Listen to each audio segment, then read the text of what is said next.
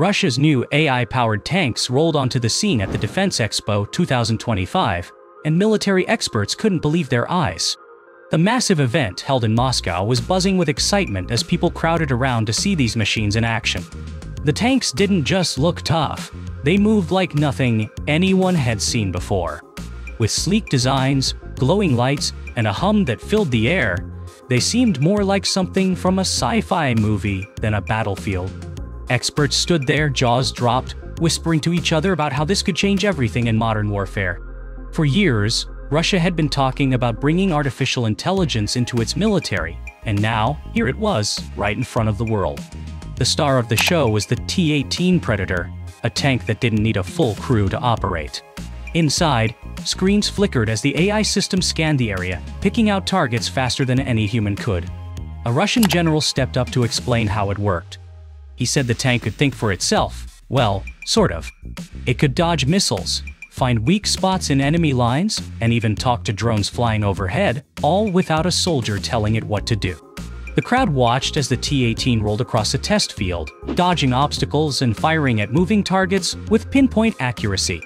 Smoke filled the air, and the ground shook, but the tank kept going, untouched. People clapped and cheered, but the experts scribbled notes, their faces serious. This wasn't just a cool toy, this was a game changer. Next to the T-18 was the Armata X2, another AI beast. This one looked like an upgraded version of Russia's famous T-14 Armata, but with a twist. Its turret spun around without anyone touching it, locking onto a drone buzzing above. In seconds, a loud boom echoed as the drone exploded into pieces. The general grinned and said the X-2 could fight in the air and on the ground at the same time.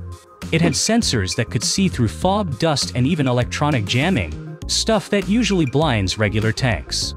Military folks from other countries watched closely, some looking worried. If Russia could really pull this off, their old tanks might not stand a chance anymore.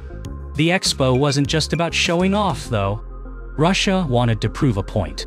For years, they'd been hit with sanctions and cut off from Western tech, but here they were, building machines that made everyone sit up and take notice.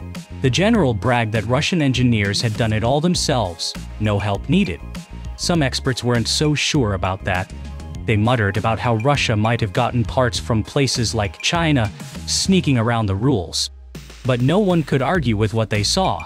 The tanks worked, and they worked well. The crowd didn't care about politics anyway, they just wanted to see more explosions. One demo really stuck with people. The T-18 Predator faced off against a row of old tanks, the kind Russia used to rely on. These were clunky, slow machines patched up from the Soviet days. The AI tank didn't even break a sweat. It zipped around them, firing shots that ripped through their armor like paper. In less than a minute, the old tanks were smoking wrecks, while the T-18 sat there calm as ever. A guy in the crowd yelled, That's the future! And a lot of heads nodded. The experts agreed, this wasn't just about power, it was about speed and smarts. The AI could react faster than any human crew, and that could mean winning battles before the other side even knew what hit them. The Armata X2 had its own big moment too. They set up a fake battlefield with trenches, walls, and enemy drones buzzing around.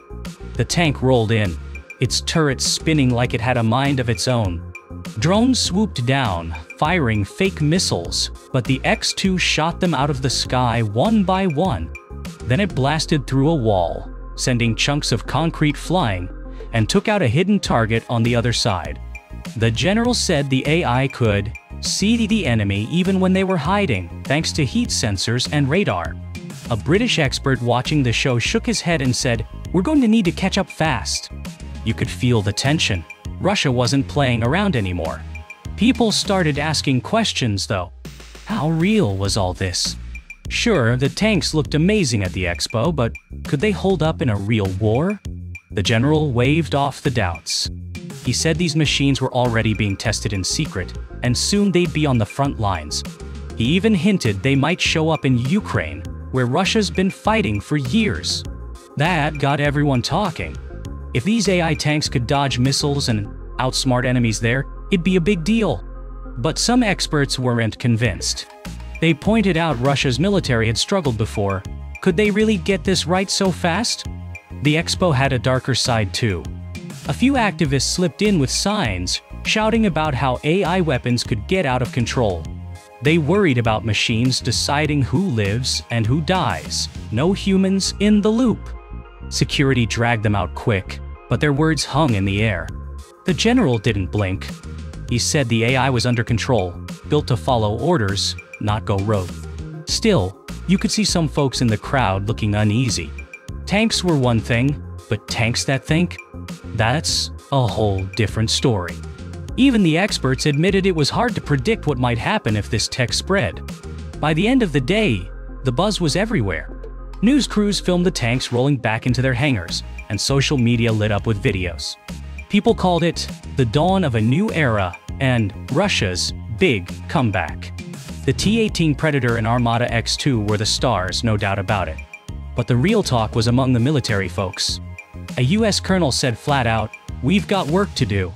A German engineer nodded and added, this isn't just a tank, it's a warning. Russia had thrown down the gauntlet, and everyone knew it. The race to build smarter weapons was on, and no one wanted to be left behind. Back at the expo, the lights dimmed, but the tank stayed in everyone's mind.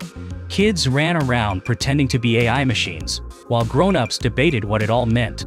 The general took one last question from a reporter, why now? He smiled and said, because the world's changing, and we're ready. That stuck with me. Ready or not, Russia's AI tanks were here, and they'd stun the world. Whether they'd win wars or start new ones, no one could say for sure. But one thing was clear, Defense Expo 2025 wasn't just a show, it was a wake-up call. The next morning, headlines screamed about Russia's big reveal. Papers called the T-18 a metal monster and the X-2A drone killer. Online, people argued about whether it was all hype or the real deal. Some said Russia was bluffing, showing off fancy prototypes that never make it to the battlefield. Others thought it was just the beginning, that more AI weapons were coming. I scrolled through the comments and one stuck out. If these tanks are this good, what's next? Good question. The expo might have ended, but the story was just starting. Military bases around the world probably kicked into gear after that. You could imagine generals calling meetings, engineers sketching new designs, trying to figure out how to match Russia's move. The T-18 and X-2 went perfect. Nothing is, but they'd shown what AI could do in a tank. Speed, smarts, and firepower, all rolled into one. Russia had been quiet on the tech front for a while, but now they were loud and proud. Let us know in the comments and don't forget to like and subscribe to the Vault of Epic Facts channel.